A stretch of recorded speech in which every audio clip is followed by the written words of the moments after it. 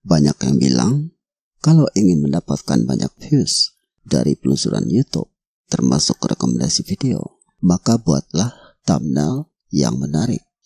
Bila perlu, yang menggoda, bahkan yang heboh. Tapi faktanya kok nggak terbukti ya. Ketika video Anda muncul di penelusuran YouTube dan rekomendasi video, maka terjadilah persaingan dengan video-video orang lain. Mau klik yang mana ya? Nah, dalam kontestasi ini, memang thumbnail sangat berpengaruh. Setelah itu, baru judul. Berikutnya, baru menyusul deskripsi video. Tapi masalahnya, kalau video Anda tidak muncul, thumbnail Anda juga nggak ada gunanya. Alias, nggak berpengaruh.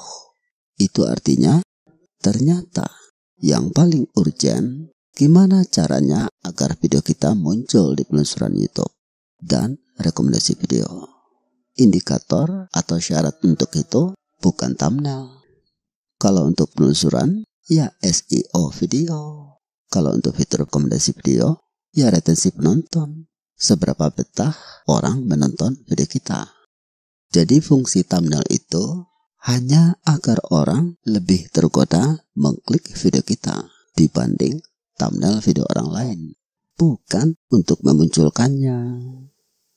Kalau video kita tidak muncul, yang mau diklik orang apanya?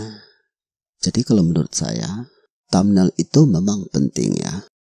Tapi jangan berpikir bahwa hanya dengan modal membuat thumbnail yang heboh, kita bisa mendapatkan banyak views dari penelusuran YouTube dan rekomendasi video.